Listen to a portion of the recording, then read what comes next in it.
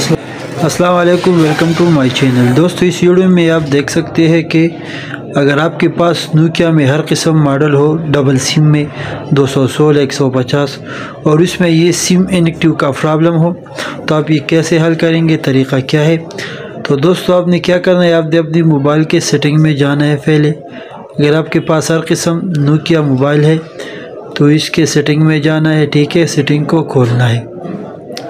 इस सेटिंग में मुख्तलिफ़ ऑप्शन होगा। आपने इस तरह नीचे आना है, ठीक है? इसमें एक होता है फ़ोन सेटिंग तो आपने ये फ़ोन सेटिंग में ढूंढना है।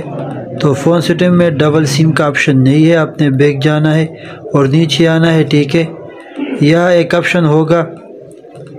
देखिए, आली के कंसिटिविटी तो आपने एक कंसिटिविटी पे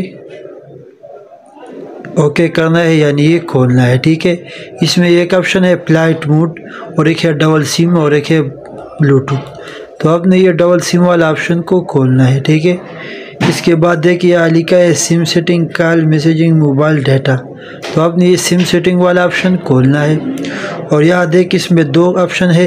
अगर पहले वाला सिम इनएक्टिव है तो आपने ये खोलना है। अगर दूसरे वाला इनएक्टिव है तो आपने ये खोलना है। तो इसमें टू नंबर ऑप्शन जो है ये इनएक्टिव है या ऑफलाइन नज़र आ रहा है तो आपने ये खोलना है या सिम स्टेटस को खोलना है, ठीक है, और यह ऑप्शन है ऑनलाइन तो ये पहले ऑफलाइन पे है, और यहाँ पे ये ऑनलाइन है तो आपने ये ऑनलाइन पे आना है, और या चूज़ करना है, या इस बटन को क्लिक करना है। इसके बाद आपने क्या करना है बैक जाना है, और बैक जाने के बाद आपने चेक करना है कि इसका मसला हल हो गया है कि नहीं। तो दोस्तों, देखिए, ये है जोंग सिम इसने उठा लिया। आपके पास अगर नोकिया में हर किस्म मॉडल और डबल सिम और 216 मेमोरी कार्ड वाला जो मोबाइल है तो इस तरीके से आप ये मसला आसानी से हल कर सकते हैं। वीडियो को लाइक करें चैनल को सब्सक्राइब करें।